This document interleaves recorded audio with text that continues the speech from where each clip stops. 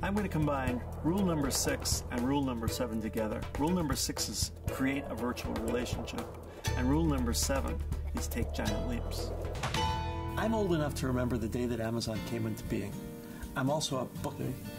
In the last five years, I can count on one hand the number of books that I've bought in bookstores. The bookstores are dinosaurs today, and it's all because Amazon got there first. Amazon built speed of access, ease of access. It's not just books that Amazon sells. Amazon now is the highest market cap retailer in the world. People don't shop the way they did 10 years ago. Today, everything is about, I'm in the mood to buy, and they turn on their laptop.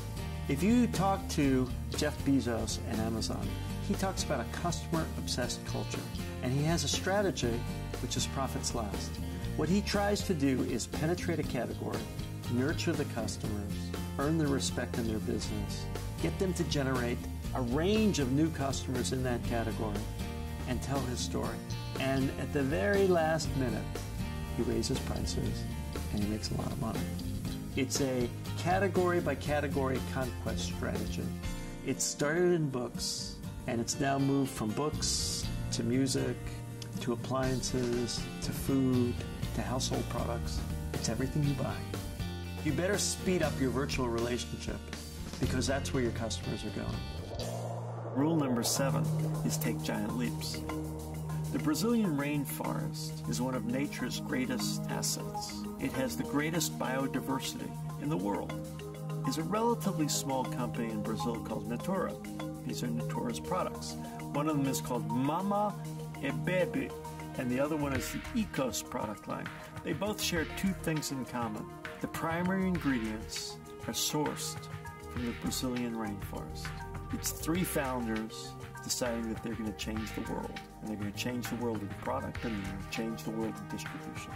They went to the Brazilian rainforest to find product that was natural and pure.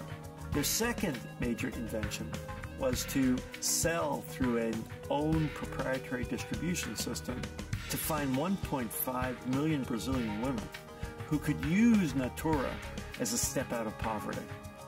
So, the major lesson from Natura is to take a giant leap and to invent a new business system on several dimensions at once.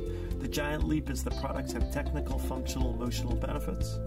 And what they're doing is applying rule number seven men's grooming, wine, toys. Maybe I'll buy rockets. Make your dreams for your brand come true. Read Rocket Eight Lessons to Secure Infinite Growth.